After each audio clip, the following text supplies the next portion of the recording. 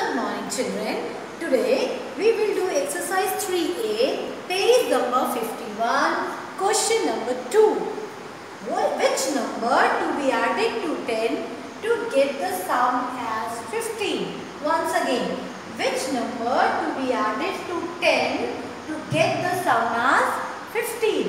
I know you all are very smart. You will count on your finger and say, Ma'am, 5.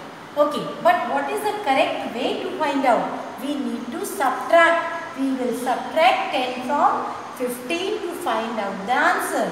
We'll subtract 5 minus 0 is 5 and 1 minus 1 is 0.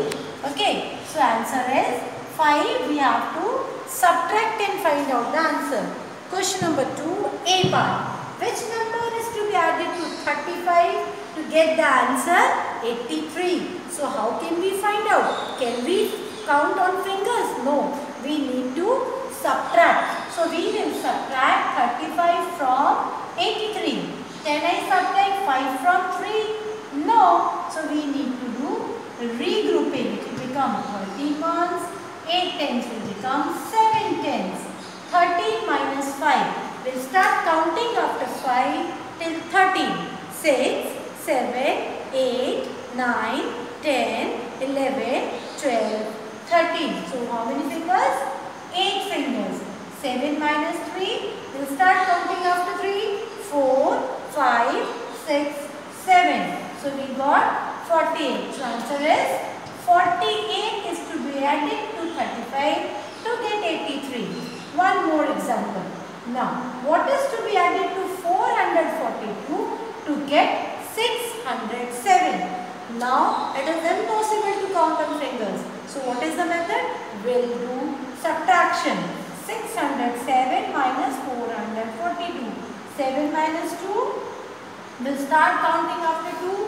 3, 4, 5, 6, 7. So, we got 5 fingers.